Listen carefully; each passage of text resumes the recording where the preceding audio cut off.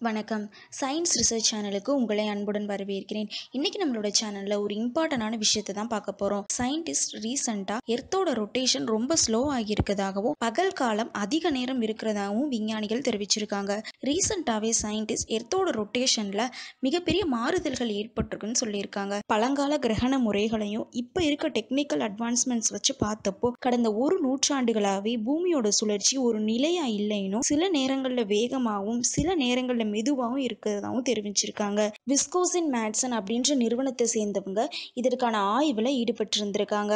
அவங்களோட ஆய்வின்படி நிலவை தவிர பூமியின் மேலே இன்னும் பல கிரகங்களோட விசையோட தாக்கம் இருக்கிறதாகவும் இதனால தான் பூமியோட சுழற்சியில் மாறுபாடு ஏற்பட்டிருக்கும்னு தெரிவிச்சிருக்காங்க. இதுக்கு பேர் மிலன் கோவிட் சைக்கிள் அப்படின்னு ஒரு பேர் சொல்லியிருக்காங்க.